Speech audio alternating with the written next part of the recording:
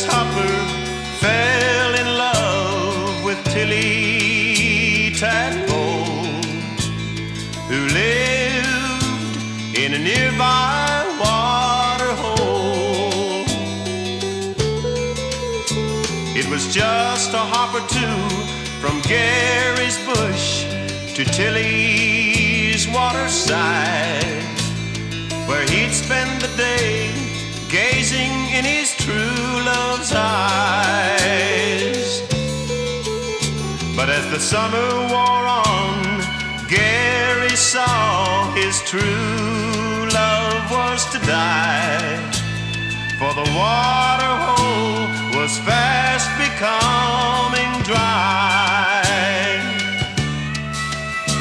He'd hold back his tears and hide all his fears, cause Tillie didn't know that soon there'd be no water hole.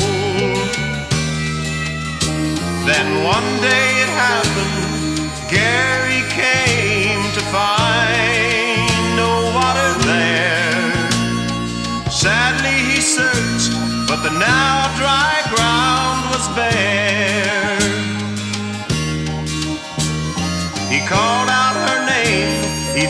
was in vain as he hopped through the bog.